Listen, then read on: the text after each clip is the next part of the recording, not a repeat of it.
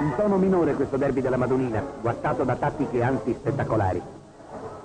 Da Lorenzi a Skoglund la palla perviene a Netti che però spreca l'occasione. Poi una punizione di Bonifacio ed è spinta dalla traversa.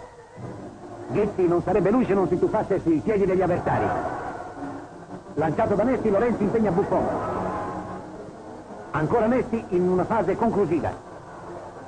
Per sbagliare la matassa Buffon compie un giro su se stesso.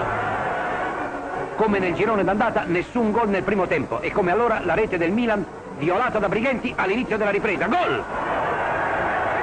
La partita avrà altre analogie col primo derby della Madonnina.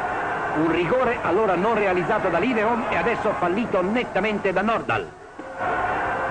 I tifosi neroazzurri tirano un lungo respiro di sollievo.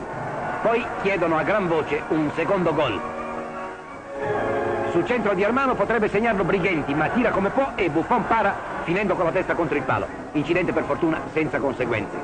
A 4 minuti dalla fine Nordal spara al volo. Gol! Pareggio in extremis come nel girone d'andata. Per cui alla fine sono contenti soltanto i tifosi del Milan. Partita non bella ma avversari cavallereschi.